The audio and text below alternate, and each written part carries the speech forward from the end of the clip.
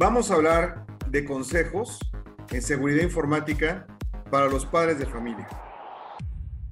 Porque Internet se ha convertido en uno de los pilares de comunicación hoy en día para prácticamente buena parte de la humanidad. Y eso implica eh, hoy precisamente que los niños que están en, en casa eh, utilizan muchas herramientas tecnológicas, una tableta, una computadora, eh, una consola de videojuegos. Entonces, ya que todas estas actividades, por ejemplo, que también en un entorno no solamente de entretenimiento, sino educativo, también se utiliza, por darles un ejemplo, en México hay un estudio donde el 80% de los padres de familia admiten que sus hijos han pasado mucho más tiempo en línea por el tema del confinamiento en comparación con el año antepasado. O sea, y aquí el 20% adicional de todos ellos indicó que se están apoyando en la tecnología para mantener a sus hijos ocupados, que no anden echando guerra en la casa. Entonces está bien, ¿no? Que estén entretenidos. Entonces, pues están en los teléfonos inteligentes, en las tabletas, en las computadoras, en las consolas. Todo el tiempo está conectado al Internet. Sin embargo, hay otro lado de la cara de la moneda. Los niños en Internet desafortunadamente están expuestos a riesgos digitales. Eh, por ejemplo, sexting,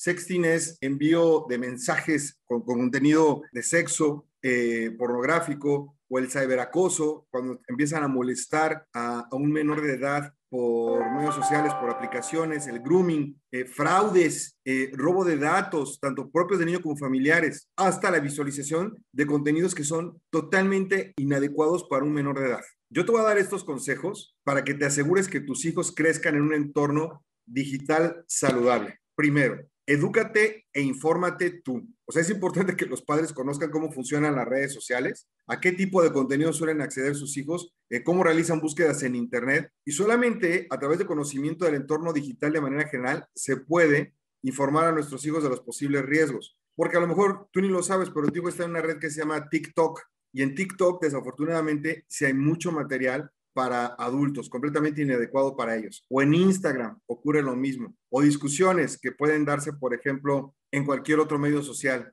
Tienes que analizar, este es el segundo punto, el comportamiento eh, web de tus hijos.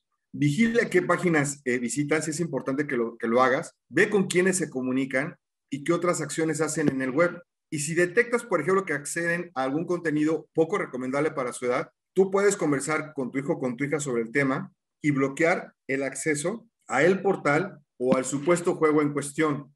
La siguiente es que nunca proporcione datos personales, nunca, jamás. De hecho, un menor de edad debiera crear una identidad digital eh, utilizando un apodo eh, en lugar del nombre completo, si lo quieren ver así, y que limite mucho a la información personal que puedan compartir. Cuando creen los niños o las niñas un perfil en redes sociales, eh, es importante, por ejemplo, que inclusive pongan alguna animación en lugar de una fotografía directamente de ellos. Eh, es importante que como padre entres a la configuración de privacidad para que no se publique de manera automática eh, los datos personales del menor, que muchas veces no lo toma en cuenta el, adulto porque no lo sabe.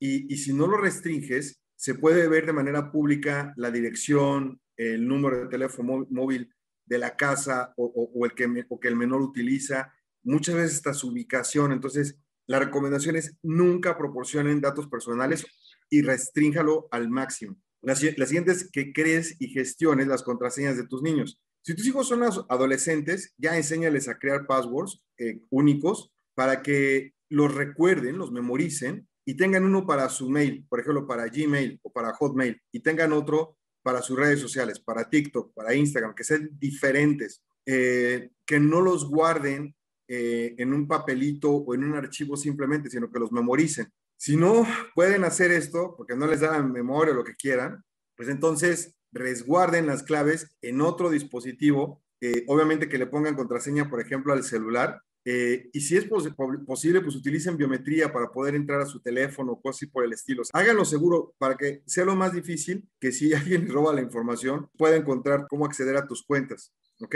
Eh, es muy importante también utilizar la protección que incorporan todos los navegadores. Safari, Chrome, Firefox, Edge, todos los navegadores tienen aplicaciones para poder monitorear el uso seguro de Internet y proteger sobre todo a los menores de edad de contenidos destinados a adultos. O sea, hay que tener mucho cuidado porque hay muchas porquerías en Internet. En algunos casos es muy recomendable que, que, se active directamente la restricción de acceso según la edad de, del niño o bloquear, ¿no? Compras a través del teléfono móvil, si no te va a meter un, unos golazos tus hijos, ¿no? Comprando videojuegos o música o películas, no lo sé. El más importante de todos los consejos, presta, por favor, mucha atención en, en, en algún cambio de actitud en cuanto a tiempo que pase en la web tu hijo o tu hija, si reciben llamadas telefónicas de personas que no conoces, ten cuidado. Si has notado que llegan por correo regalos no solicitados, ten cuidado. Si no le gusta hablar sobre sus actividades en línea, ten cuidado. O sea, aunque parezcan cosas sin importancia, recuerda que los niños tienen que ser una prioridad y cuidarlos es nuestro deber. Estas personas que, que molestan a los niños a través de Internet y demás, llegan inclusive a veces hasta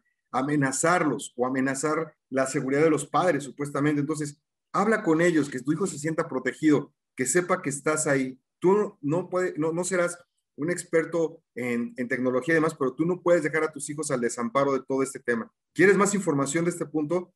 Visita www.fernando.com y ahí vas a poder encontrar más información. Nos escuchamos la próxima semana.